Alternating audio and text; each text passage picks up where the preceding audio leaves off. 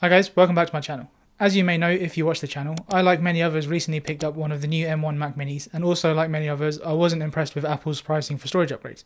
So I'm going to show you four SSD based solutions that are potentially better value. Uh, one of them is from Samsung, three are from Sabrent. And to be honest, I'm not going to waste your time. My favorite is the Sabrent USB 3.2 Gen 2 NVMe enclosure, um, and that's with their Rocket NVMe SSD inside. Um, if you stick around with me, I'll explain why. So first things first, let's talk about Apple's pricing.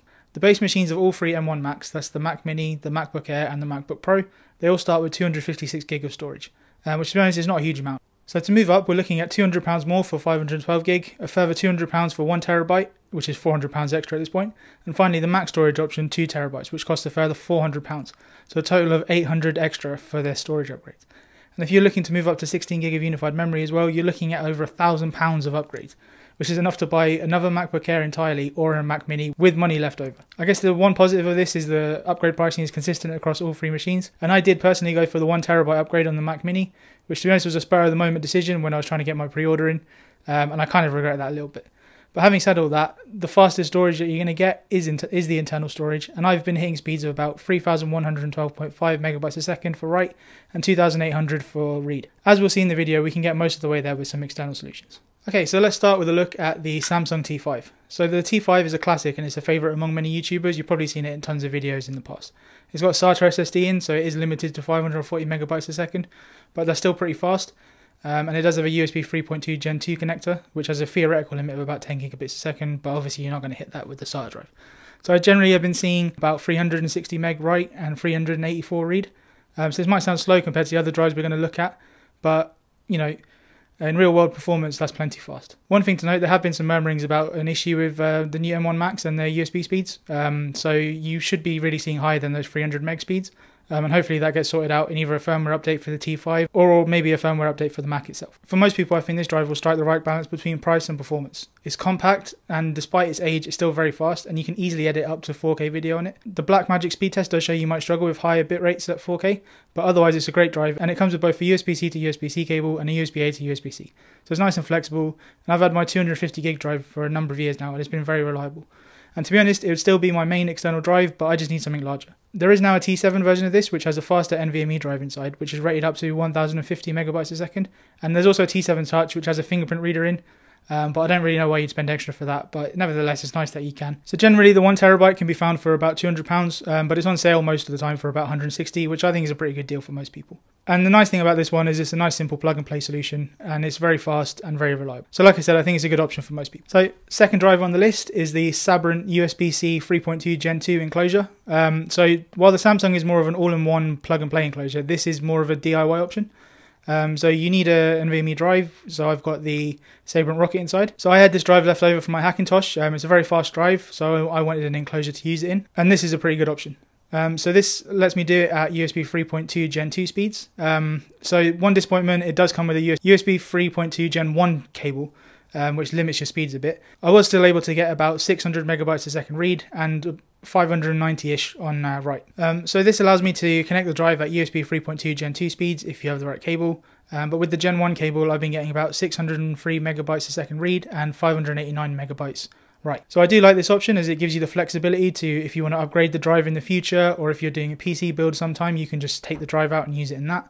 Um, but yeah, like I said earlier, the main disappointment with this is it comes with a Gen 1 cable, which is half the speed, 5 gigabits a second as opposed to 10 gig. So it's a bit annoying and it does hamper the speed a bit. But even with the cable issue, you can edit 4K comfortably off of it and it's a very snappy drive. Um, so if you get a Gen 2 cable, which you can pick up for about £10, then this becomes an extremely speedy drive. Obviously, with this one, you'll need an actual, you'll need an NVMe drive, um, which you can get for about £100 to 130 depending on the performance you go for. I got my Sabrent one in a sale for £93. So if you look at adding £35 for the enclosure, that's £128 total, which comes in cheaper than the Samsung T7 and is theoretically as fast if you have the right cables. Um, so yeah, this is like I said earlier, this is my favorite option, and this is the one I'm going to keep. But we do have a few more options if you want to go even faster. So while the first two options are plenty fast for most people, uh, one of the benefits of having a recent Mac and one of the M1 Macs is you get two Thunderbolt ports. And Apple adopted Thunderbolt quite early on, and they've included it on most Macs for a long time. They're probably going to include it for a long time to come, as USB 4 now incorporates the Thunderbolt 3 standard. So it's a pretty future-proof drive to buy. So Thunderbolt 3 does cap out at 40 gigabits a second, and I've been seeing read and write speeds of over a thousand megabytes a second, which is which is rapid to be honest. So this enclosure is very similar to the other Sabrent one, which we looked at earlier, but it is much more expensive at $79.99. So if you pair that with an NVMe drive, like I was saying earlier, the Rocket one, you're looking at about £175 as an outlay, which is not too bad when you look when you consider you getting Thunderbolt 3 performance. It's still less than the Samsung, and it's way less than what Apple charged for a one terabyte drive. So this is the closest we've got to so far of the internal speeds of the M1 machines, but we're not quite there.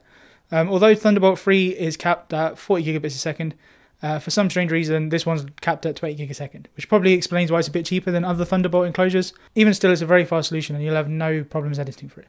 One huge flaw, which I really dislike, is they've, they've added a little notch on the Thunderbolt 3 connector, which makes it essentially proprietary. To be honest, this is a deal breaker for me, because if you do break the cable, you won't be able to use any other device, you won't be able to use any other cable with it, you'll have to get Sabrent's one, which is, to be honest, a pain. Although you do get excellent performance with this enclosure, I can't recommend it simply because of that cable. We'll now move on to our final drive of the of the video, um, and it's probably the best looking one as well, with nice matte black. Um, so this is the another Sabrent option, and it's a sort of an all-in-one solution. It's NVMe, it's Thunderbolt 3, and it's no there's no cap. It's the full 40 gig a second. So while this is the most expensive we've looked at so far at 200 pounds, you have to remember that's the same cost at moving from 256 gig to 512 gig on Apple's storage options.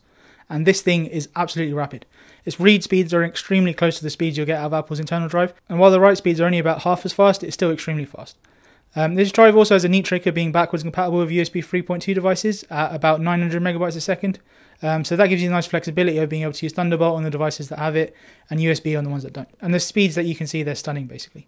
Um, the drive does get pretty hot in general use, but I mean, this shouldn't really be a problem as this is just one of the things that happens with NVMe drives. And the benefit of it being aluminium is the heat is spread around quite well. The only other drawback is it does use Sabrent's cheaper key range of NVMe drives, which is supposed which supposedly has a lower write durability compared to other more expensive drives. I'm not really sure how much of an issue that is, but I guess if you are going to be video editing on it, that's something to check upon. So if you are willing to spend this much, £200, it might be worth looking at the more expensive Rocket Extreme without the Q. Um, this uses traditional TLC flash, so there's, so there's, no compromises really with that one. Sabrent advertises speeds of 2,400 megabytes a second for both read and write on that drive, and to be honest, based on my tests for these other drives, I'm inclined to believe them when they claim that. So yeah, as I said, there are other options. There's the aforementioned Sabrent Extreme, which has the more expensive drive, that's £250. Samsung also have an X7, which is Thunderbolt 3 as well, and that's about £300. For me, I think the DIY route with the USB 3.2 enclosure is a sweet spot for most users. You get fast enough speeds to edit most 4K footage off, and you have the flexibility of putting a high capacity drive in in the future and still being able to reuse this one. And you can also move the NVMe drive into another computer. The great thing here is all the solutions we looked at are cheaper than upgrading the internal storage for Apple, and some of the Thunderbolt 3 options can almost be as fast. Saving money here and going for the external solutions is great. Because of the fast I/O available on the Macs, it means you can spend money on other upgrades like going from 8 gigs 8 gigs of unified memory to 16 gigs, which I think is a much better option for a lot of people, especially if you're going to be doing video editing. So let me know what you think. Are you going to go for one of these options or are you just going to go through Apple? Um, or if you do know any alternatives, let me know in the comments um, and I'd love to check those out as well. If you did enjoy the video, give me a like and subscribe. It'd really help me out. I'd love to get to 600 subscribers soon and I'll catch you in the next one.